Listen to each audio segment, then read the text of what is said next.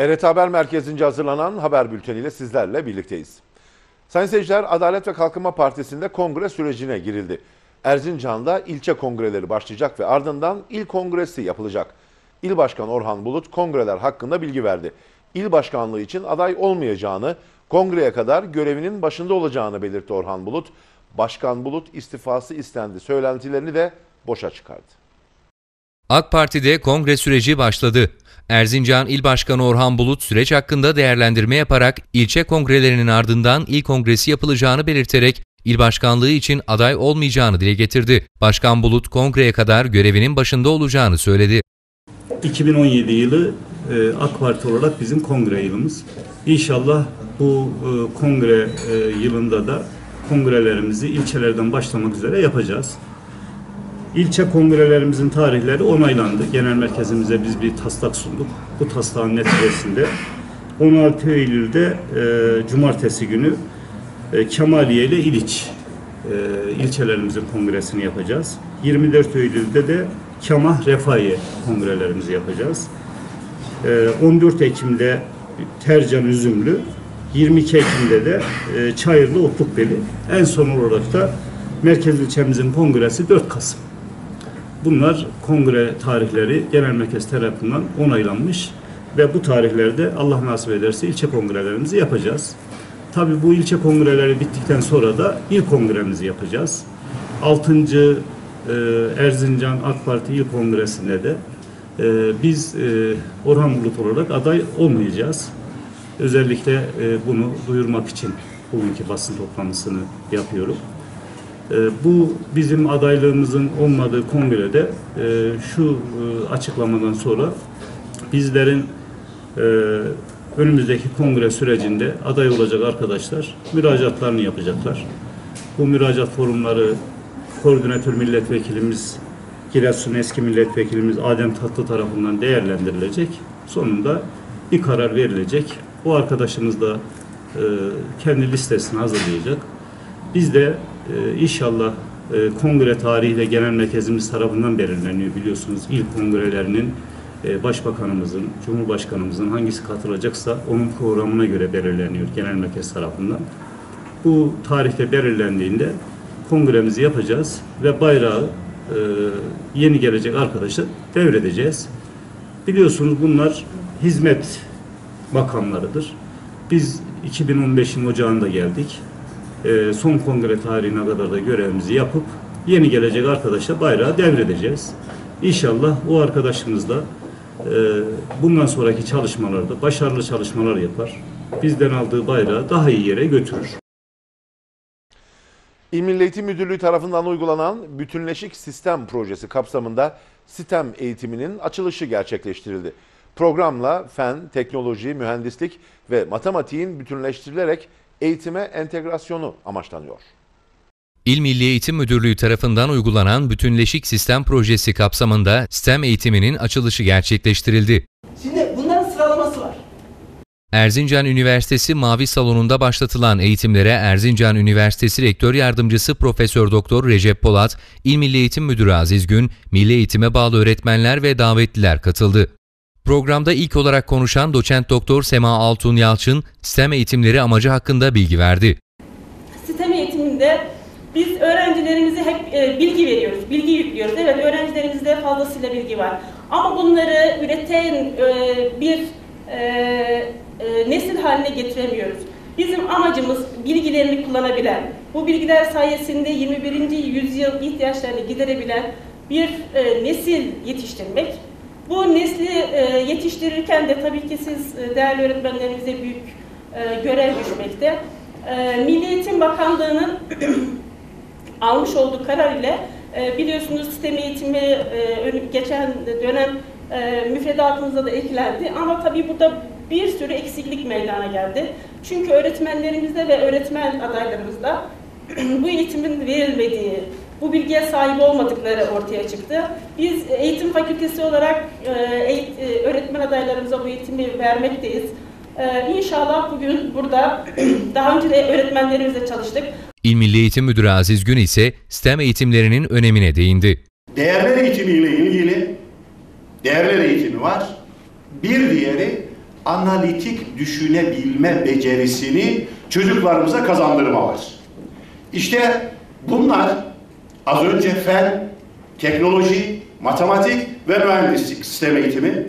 Bu dört ana temelin birbirleriyle olan entegrasyonu, bir araya gelmesi, farklı bakış açılarıyla yorumlayabilme, bakabilme, hareket edebilme, yeni şeyler inşa edebilme, işte sistem eğitimi.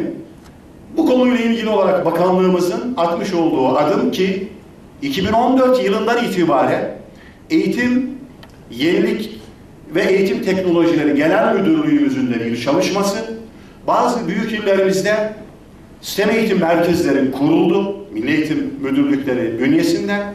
İlimizde de bugünkü 85 arkadaşımızın katılmasıyla 132 öğretmenimiz e, sistem eğitimini almış olacak. İnşallah Haziran ayında bunun daha ileri e, konuyla ilgili bilgilendirme çalışmalarını bizler de yapacağız. Erzincan Üniversitesi Rektör Yardımcısı Profesör Doktor Recep Polat ise STEM'in fen, teknoloji, mühendislik ve matematiği bir arada barındıran önemli bir sistem olduğuna dikkat çekti. Bu işin başarılı olabilmesi için en önemli faktörlerden biri, belki de en önemlisi öğretmen yeterliliği. Gelişen, değişen ve dönüşen dünyada bizim değişmeme şansımız yok. Haliyle dünyaya ayak uydurmamızın en önemli etkenlerinden biri de eğitim sistemleri değiştikçe biz de kendimizi değiştirmek zorundayız.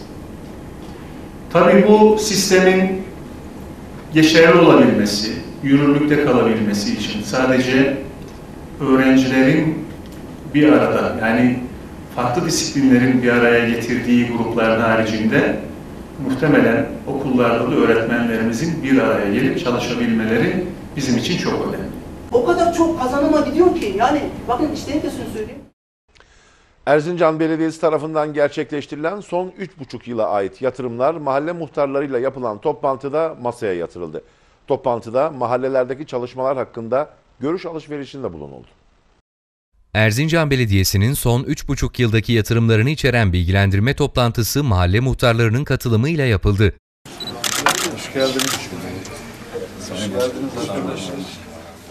Geçen yılın değerlendirmesinin de yapıldığı toplantıda mahallelerdeki çalışmalar hakkında görüş alışverişinde bulunuldu. Toplantıya Erzincan Belediye Başkanı Cemalettin Başsoy'a Belediye Başkan Yardımcıları Halit Mutlu ve Karabey Atıcı da eşlik etti. Toplantıda konuşan Erzincan Belediye Başkanı Cemalettin Başsoy, mahallelerde yürütülen faaliyetler hakkında bilgi verdi. Anladığımız e, işlerin hemen hemen yüzde seksenine geldik. Önümüzde bir buçuk yıl var. İşte e, kısa vadede, orta vadede, uzun vadede Erzincan'da belediye açısından diyorum yapmamız gerekenlerde belli bir noktaya geldik. Tabii bunlardan e, büyük projeler var, dev projeler var. Erzincan Belediyesi'nin bütçesiyle yapılması imkansız olan projeler bunlar. Eğer örnek verecek, verecek olursak bunlardan bir tanesi tramvay projesi.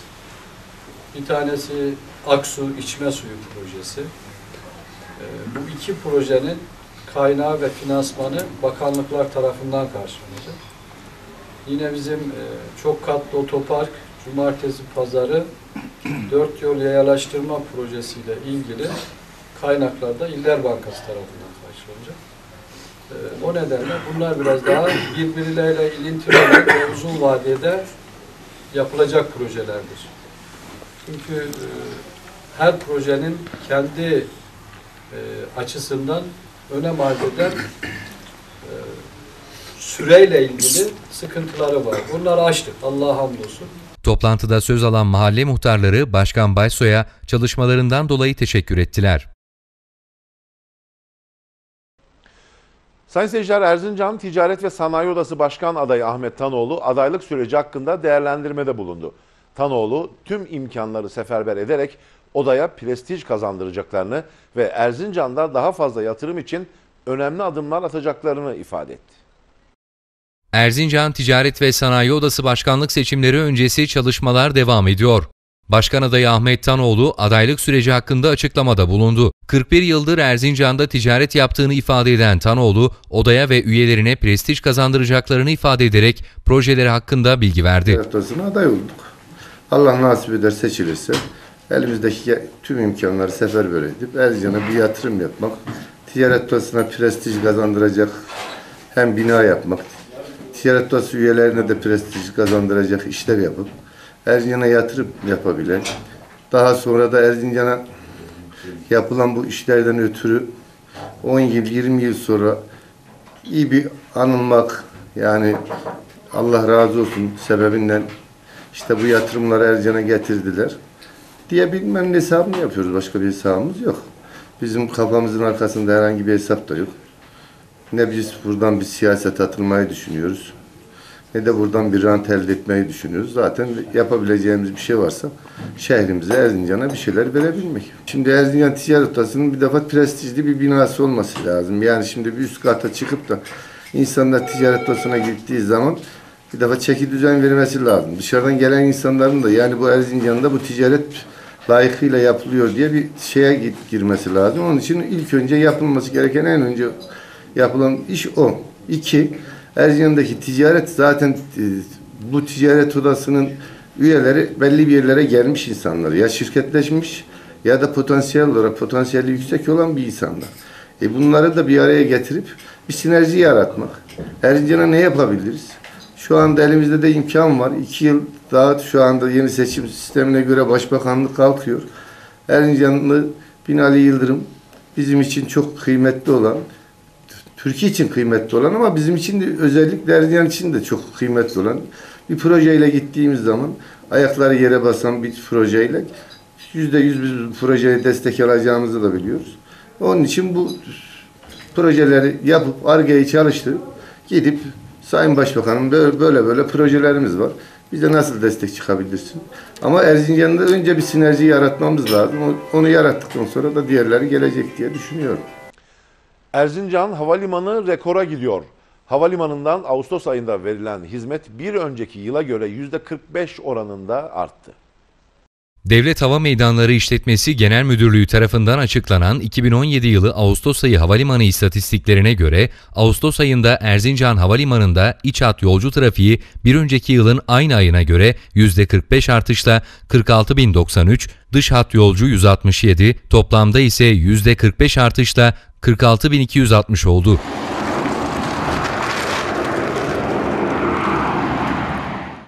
...2017 yılı Ağustos ayında Erzincan Havalimanı'na iç hat iniş kalkış yapan uçak trafiği bir önceki yılın aynı ayına göre %37 artışla 351 oldu. Dış hatlar uçak trafiği 4 olmak üzere toplam uçak trafiği %39 artışla 355'e ulaştı. 2017 yılı Ağustos ayında Erzincan Havalimanı yük trafiği ise toplamda %34 artışla 449 ton olarak gerçekleşti. 2017 yılı Ağustos sonu verilerine göre Erzincan Havalimanı'ndan bir önceki yılın aynı döneminde %23 artışla 279.888 yolcu hizmet aldı. Hizmet verilen toplam uçak trafiği %12 artışla 2170'e, yük yani kargo, posta, bagaj trafiği ise %16 artışla 2383 tona ulaştı.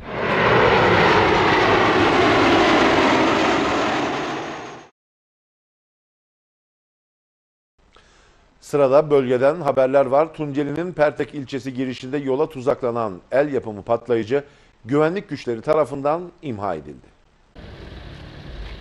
Tunceli'nin Pertek ilçesindeki polis kontrol noktasına yakın bir alanda tuzaklanan tahrip gücü yüksek el yapımı patlayıcı güvenlik güçlerince tespit edildi. Tunceli Pertek Karayolu'nun çift taraflı trafiğe kapatılmasının ardından olay yerine bomba imha ekipleri sevk edildi. Ekiplerin yaklaşık 4 saatlik çalışmasının ardından 100 kilogram el yapımı patlayıcı kontrollü olarak imha edildi.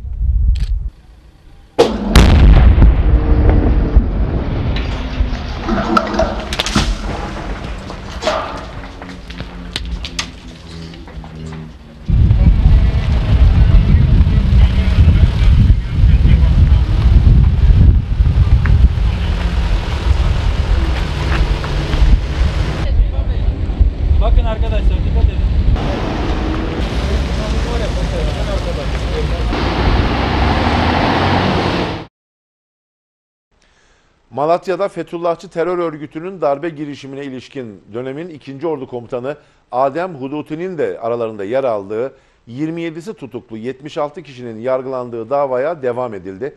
Duruşma sırasında sanık yakınlarıyla vatandaşlar arasında tartışma yaşandı. FETÖ'nün darbe girişimine ilişkin aralarında dönemin 2. Ordu Komutanı Huduti'nin de bulunduğu 27'si tutuklu 76 sanığın yargılandığı dava devam etti.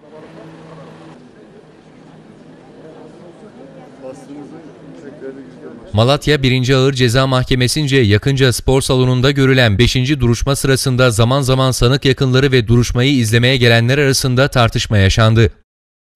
Allah'ın laneti üzerinize olsun. AK Parti Malatya Milletvekili Mustafa Şahin darbe girişiminde kentin ciddi bir badireden geçtiğini belirtti. Yine alçakların hiçbir zaman için yargılama haklarının dahi olmadığını, vatana ihanet eden, ihaneti vataniye suçuyla suçlanan geçmişten bugüne kadar ecdadımız ne yapmış? Anında infaz etmişlerdir.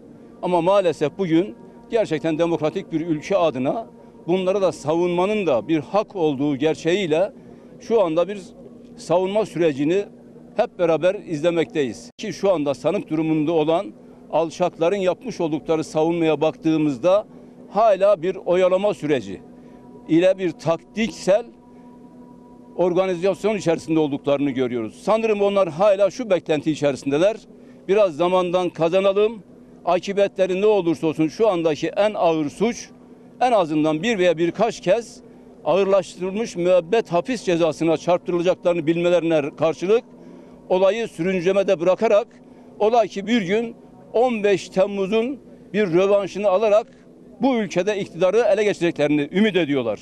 Ama şunu bilsinler ki kesinlikle bu ülkede milletiyle, devletiyle, bütün renkleriyle gerçekten 15 Temmuz'da nasıl bu darbe girişimine karşı dik durduysak bundan sonraki yapılacak olan inşallah hiçbir şeye muktedir olmadılar, olamayacaklar. Bunlara da gereken dersi zamanında inşallah vereceğiz. AK Parti Malatya İl Başkanı Hakan Kahtalı, FETÖ ile mücadelemiz devam edecek diye konuştu. canlarını vermiş şehit olan ve bundan önce FETÖ'den 250 tane arkadaşımız bunların bu hainlerin saldırısıyla şehit oldular. Ondan önce de şehit olan bütün kardeşlerimize Allah'tan rahmet diliyorum. Gazilerimize de hayırlı şifalar diliyorum. İnşallah mücadelemiz devam edecek. Giresun'un Keşap ilçesinde akaryakıt istasyonunda kamyonet devrilerek yakıt pompasına çarptı. Olay güvenlik kameraları tarafından görüntülendi. Giresun'un Keşap ilçesinde akaryakıt istasyonunda kamyonetin devrilerek pompaya çarpması güvenlik kameralarınca görüntülendi. Karadeniz sahil yolu Karakoç köyünde bulunan akaryakıt istasyonuna yakıt almak için giren sürücü ve plakası öğrenilemeyen kamyonet belirlenemeyen bir nedenle devrildi. Kamyonet sürüklenerek istasyonda bulunan bir pompaya çarptı. Ölen ya da yaralananın olmadığı kaza ve ardından istasyonda yaşanan panik güvenlik kameralarına yansıdı. Kars'ın Sarıkamış ilçesinde ormanlık alanda örtü yangını çıktı. Yangında 4 hektarlık alan zarar gördü. Yangını söndürme çalışmaları devam ediyor. Kars'ın Sarıkamış ilçesine 20 kilometre uzaklıkta İznos mevkiinde henüz belirlenemeyen nedenle ormanlık alanda örtü yangını başladı. Rüzgarın etkisiyle büyüyen yangını gören vatandaşlar yangına müdahale edip durumu itfaiyeye bildirdi.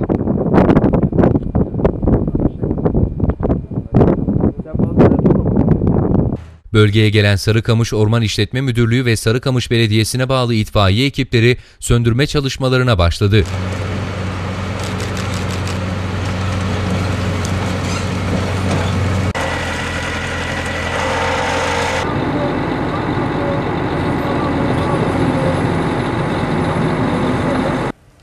Yaklaşık 4 hektar alanın zarar gördüğü yangını söndürme çalışmaları sürüyor.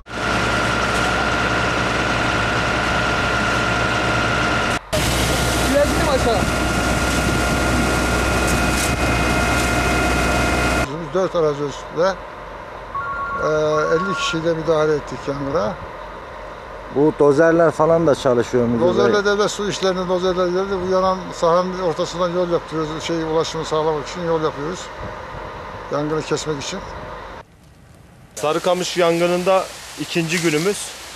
Ee, saat 11'den sonra e, ha- havanın da ısınması ve rüzgarın da etkisiyle e, yolun olmadığı noktalarda bazı patlamalar oldu. Şu anda e, Erzurum Orman İşletme Müdürlüğü aracız ekibiyle müdahale et- e, etmiş durumdayız.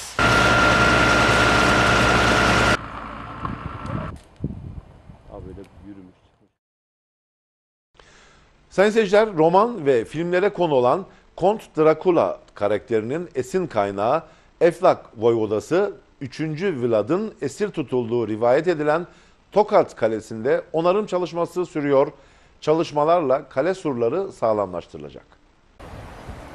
Roman ve filmlere konu olan Kont Drakula karakterinin esin kaynağı Eflak Voyvodas 3. Vlad'ın esir tutulduğu rivayet edilen Tokat Kalesi'ndeki onarım çalışmaları sürüyor.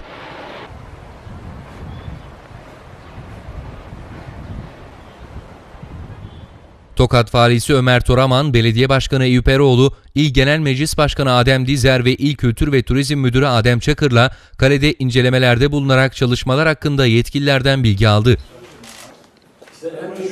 En son görün, gör, görünmeyen de olan. Vali Toraman, Tokat Kalesi'nde bulunan Ceylan yolundaki kazı çalışmalarının 2015 yılında başladığını belirterek onarım ve güçlendirme hakkında bilgi verdi. Buna ilişkin e, emarelerin, eserlerinde çok bulunduğu bir şehir. Bunlardan e, bir tanesi ve başta geleni de e, Tokat Kalesi. Kale fonksiyonunun önem taşıdığı dönemlerde, çağlarda Tokat Kalesi e, ihtişamıyla e, nam salmış bir kale. Surlarımız tahrip edilmiş e, zaman içerisinde terk edildikten sonra kaleler fonksiyonunu kaybettikten sonra e, bunların da günümüze ulaşanlarının korunması, e, sağlamlaştırması için çalışmalar yürütülmüş. Bu çerçevede e, şu anda e, kale surlarının sağlamlaştırması ve restorasyonu için e, proje yapılmasına dönük çalışmalar son aşamasına gelmiş durumda. Kale surlarının sağlamlaştırması projesi yetkili merciler tarafından tasdik edildikten sonra da inşallah e, surların e, güçlendirilmesi için uygulama aşamasına da geçirmiş olacak. Surları kesme taş ve moloz kullanılıp kademeli şekilde kaya kütlelerine oturtularak yapılan kalenin kuzey ve güney yönündeki duvarları depremlerin de etkisiyle büyük ölçüde yıkılmış durumda. Bu yönde sadece bir burç ve ana kaya üzerindeki surlar görülebiliyor.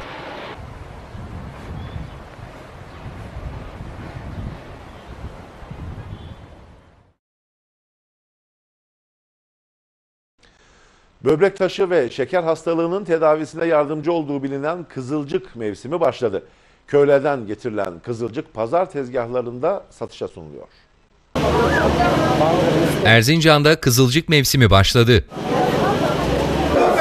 Köylüler tarafından pazara getirilip satışa sunulan kızılcık halktan yoğun ilgi görüyor. Böbrek taşı düşürülmesi ve şeker hastalığının tedavisine yardımcı olduğu bilinen kızılcık kilosu 5 liradan satılıyor. Satıcılar kızılcığın faydası saymakla bitmez diyor. Kendi bahçemizde üretiyoruz. Ee, üç çeşit kızılcık var. Pazara getirdiğimizde e, halkın talebine göre çeşitli şekillerde kızılcıkları veriyoruz. Bunlar belirli hastalıklara şifa, e, çoğu hastalığa şifa, böbrek taşlarını düşürüyor. E, genellikle şekeri dengeler, daha fazla hastalıklara şifa olarak kullanılıyor. Suyu kaynatılıp içildiğinde şifa olarak kullanılabilir. Kilosu ne kadar? E, kilosu normalde 7,5 lira. E, çeşitlerine göre 6 liraya var. Biraz ezlik olunca da 5 liraya da verebiliyoruz yani. Vatandaşın ilgisi nasıl? Vatandaş e, bu dönemde vişne şurubu ya da e, kızılcık şurubu olaraktan reçel yapmaya da genellikle kızılcığa e, önem veriyor.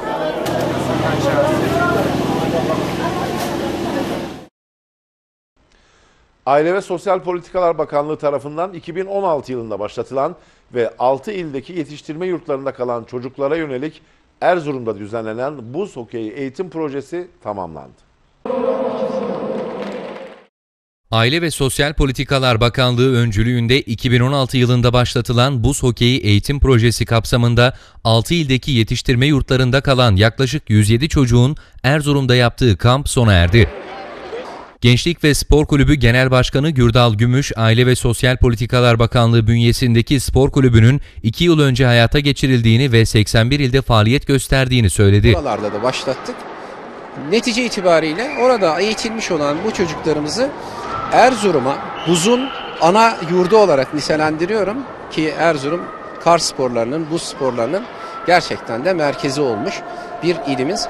Burada Gençlik Spor Bakanlığımızla birlikte Kredi Yurtlar Kurumu'nda konaklamak suretiyle eee, ve tesislerden de yine yararlanmak suretiyle yaklaşık 107 tane çocuğumuzu kampa aldık burada. Bir hafta sürdü kampımız. Kampın sonucunda biz kendi aralarında müsabaka yapmak üzere şu anda da kapanış törenine geldik.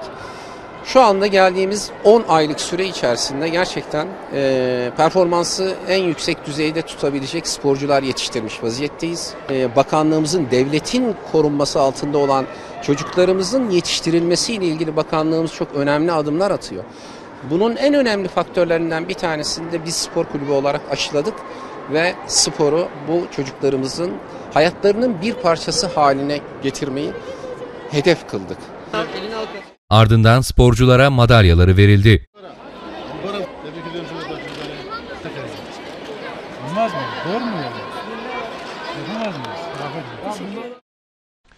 Evet sırada hava durumu var.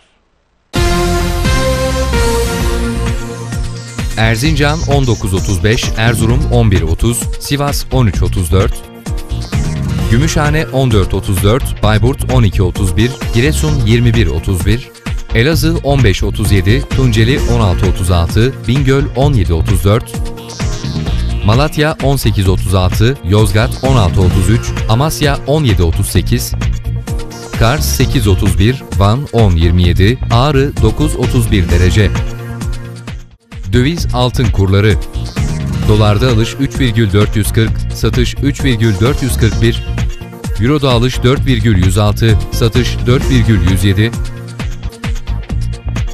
22 ayar altın bilezik alış 133,12, satış 134,47, tam altın 949,87, yarım altın 477,20, çeyrek altın 237,60.